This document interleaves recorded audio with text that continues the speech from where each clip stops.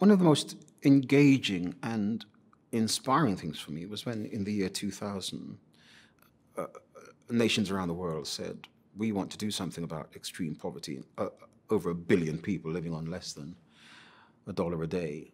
Um, and the Millennium Development Goals were initiated in September 2000. One of the greatest privileges of my life was to stand with civil society, with governments around the world. And in our work in Micah Challenge for 10 years, and that work is still going on, uh, to challenge and support governments in um, this decision to do something about the world's extreme poor.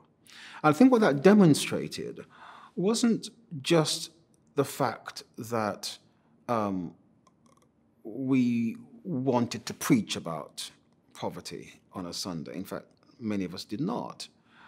But that our commitment as Christians to hope, our commitment to the future, our commitment to human dignity was found an opportunity to engage in partnership with civil society, with governments, for some of the world's most marginalized people. And so the work of Micah Challenge, the work of fighting extreme poverty in these eight promises, uh, served us well. Firstly, because if anybody understands the concept of promise, certainly Christians ought to, because our whole Christian faith is based on the idea of promise. But it also gave us an opportunity to engage as equal partners with civil society to practicalize our faith on behalf of the poor and the marginalized. And we finished off with a brilliant event, if I say so myself. Uh, um, uh, at the UN, um, celebrating what the world had achieved in delivering elements of the MDGs, but also expressing sorrow for those things we failed to accomplish from our promises. So we call the event Celebration and Sorrow. And the idea was to do precisely that to say thank you to God for what had been achieved, to say thank you to our nations and our governments for what had been achieved. Many more children educated, uh, diseases like malaria really being attacked, HIV, AIDS.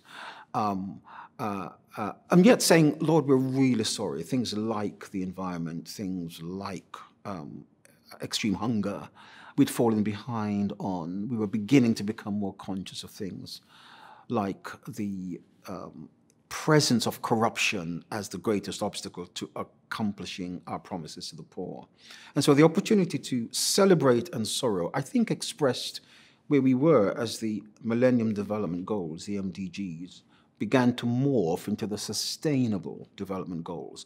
One of the great things, I think, which the world should be encouraged by, is that although together we had not delivered everything we had promised. At least now, the world had for the first time an agreed vocabulary about poverty and an agreed shared statement about human dignity in relation to poverty, which was carried forward in the SDGs. And so rather than uh, having abandoned these MDGs, you know, four years after they started, you know, it seemed like a good idea when it started, we're not so sure now, the whole commitment of Promise to the Poor has been sustained and is now um, unavoidable in political discourse. I think that's progress to be built on for the future.